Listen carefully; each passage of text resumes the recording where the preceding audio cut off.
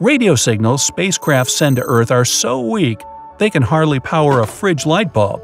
When these signals reach the surface of our planet, they get reduced to a mere one billionth of one billionth of one watt.